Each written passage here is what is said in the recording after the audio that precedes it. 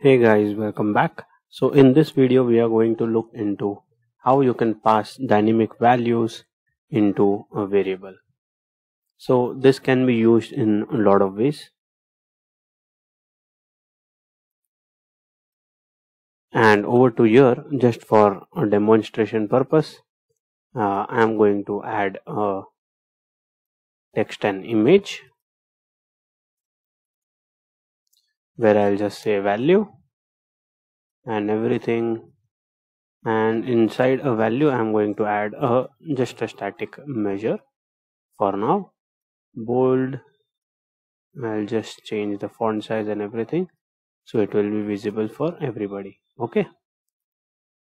Now I'll start by creating a variable. So here I'm going to create a dynamic variable or I can just say in most precise way parameterized variable. How you can create that and how it will be beneficial. Go into variables create new. Over to here write your variable name. So i'll just say v dynamic okay? Like this. And i'm just going to add in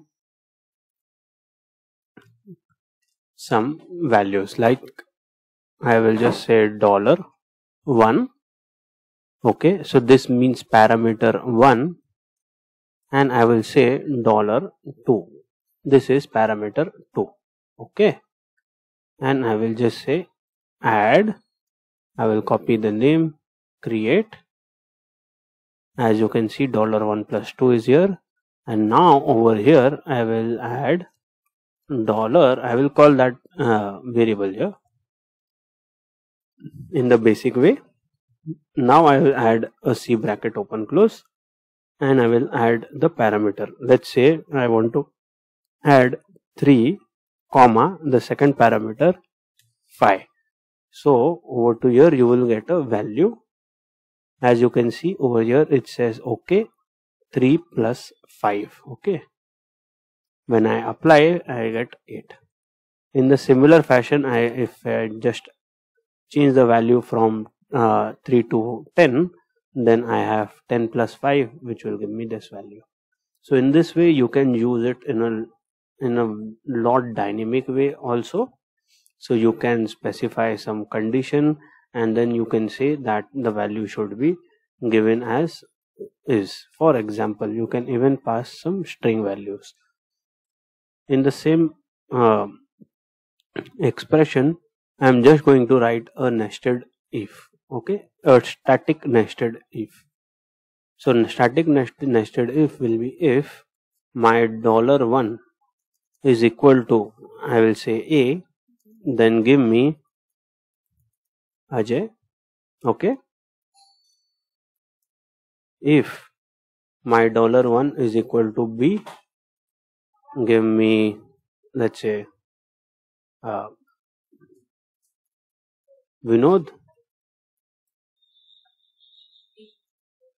If it is C then you give me let's say uh, Adi. Else you give me NA okay? This is the basic expression. I will apply this okay it's now given me NA now if I change now let's change this and start giving it a number uh, a value. Let's say I'll say A. Now the condition is A is equal to A A is equal to B like that. As you can see now it's given me Ajay now let's change it to C. Okay enter I get Adi.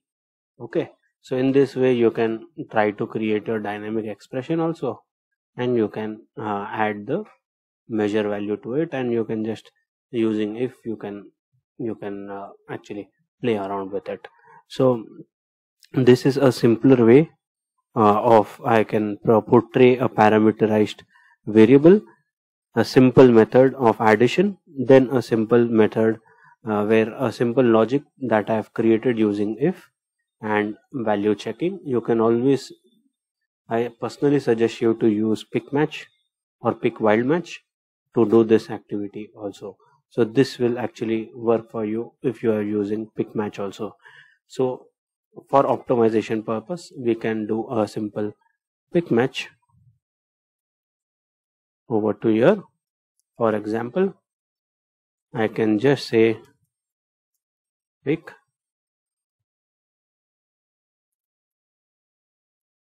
match. Dollar one. I will just write in my names. Okay. This is NA this is Adi. This is Vinod and this is Ajay. Over to here I will just add in A B and C A B C. So this is an optimization path uh, pa uh, optimization prospect. Okay. As you can see it's coming Adi. When I just change to A it's changing to Ajay. So as you can see in pick match it is telling me if match is Ajay then you give me this. So it's a simple optimization process that you can actually follow. Uh, instead of if nested if you should always use pick match or pick wild match. Either way as per your uh, use case. And this will help in optimization also